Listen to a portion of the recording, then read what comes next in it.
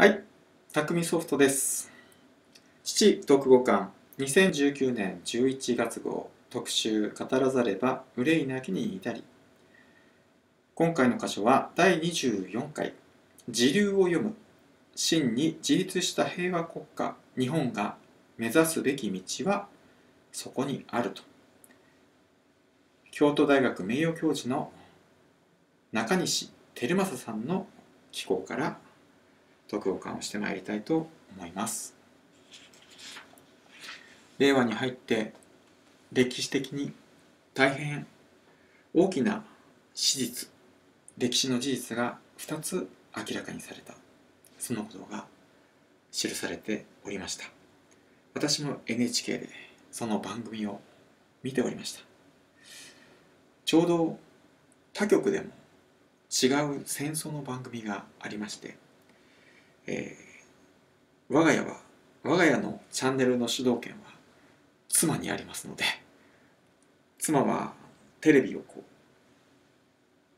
切り替えながら見るタイプの人で、え1個の番組をずっと見ることが私はできないんですね。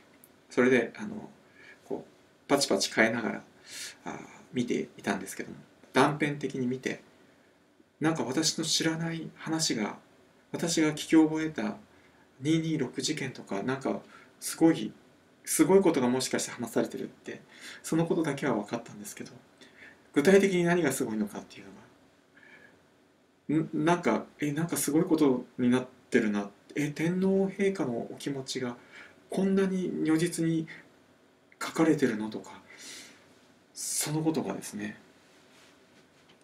おぼろげにその時すごいこと言ってるんだなってあれもう一回最初から見たいなと思っていました。そうしましたらこの父の中で説明をしてくださっておりまして。なるほどと。そういう事実が今まで公にされてなかったんですね。驚きました。この令和の時代に入ってこのような歴史的事実がまた一つ明らかにされていく。歴史というのは本当に何でしょうね。私たちを裏切ってくれますよね。今までこれが正しいんだと思っていたことがひっくり返されることってそんなに簡単にあるんだって思いますがそれはやっぱり喜びとして受け止めるべきなんでしょうかね。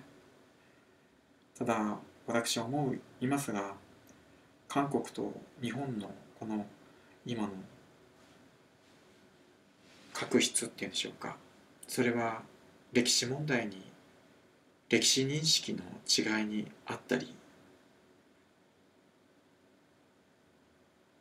その歴史というものを紐解くときにお互いが共通の認識になるっていうことの難しさをすごく感じます。まあここの今回の箇所からはそんなに韓国の話はピックアップはされておりません。えーむしろ中国の、えー話、えーが中心かなと思います。あとイギリスですかね。中国に至りましては本当にあの国を挙げて、えー世界のリーダーになるという目標を掲げて動いています。それを公にしています。一方で日本はどうでしょ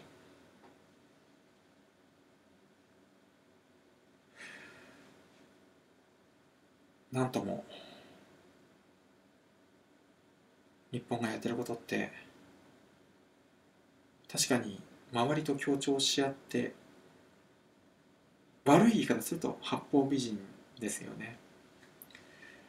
協調性がある政治をしてるっていう見方もできるのかもしれませんけどね。でも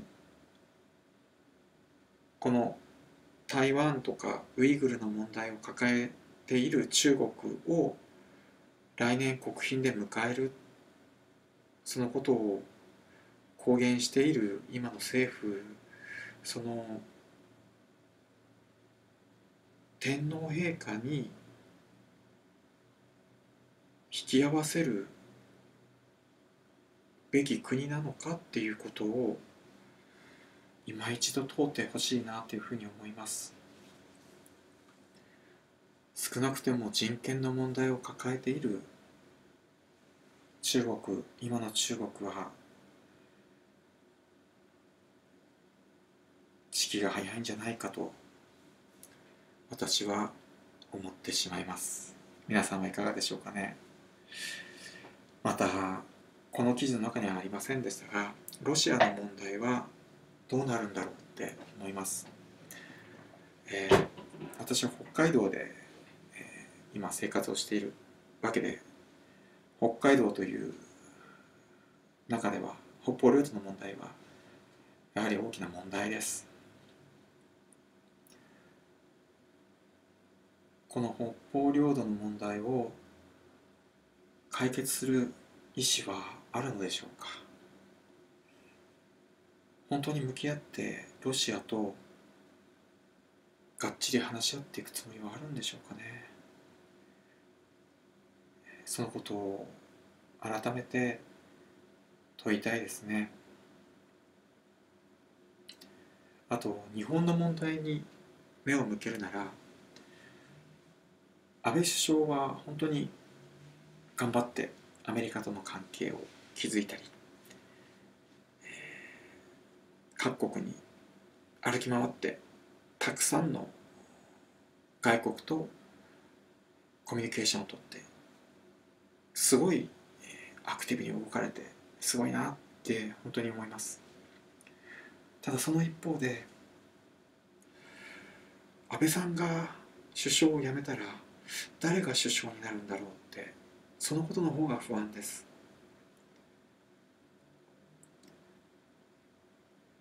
まさか民主党政権が次に変わるとはとても思えませんがでも日本は民主党になった時代もあるんです。社会党になった時代もあるじゃないですか。自民党だからって言って安心ってわけでもないじゃないですか。なる方がどう考えるかまた大臣がどんな発言をするかでこの日本って大きくぶれてきた。昭和から平成。ずっとぶれてきた。そのように思うんです。平成の最後に安倍さんが引き締めを図られた。そのような中で安倍さんの次はどうなるんだろうっていうのは大きな大きな課題としてあるんじゃないでしょうか。トランプさんがこのままアメリカの大統領に座り続ければまたさらに年数が伸びますがその間に日本の首相はおそらく変わるでしょう。誰が次に来たとしても日本が進むべき道は踏み間違えてはならないように思います。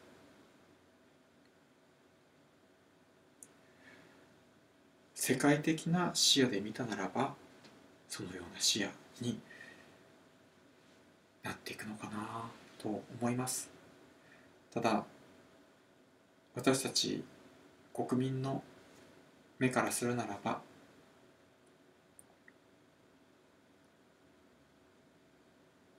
本当に。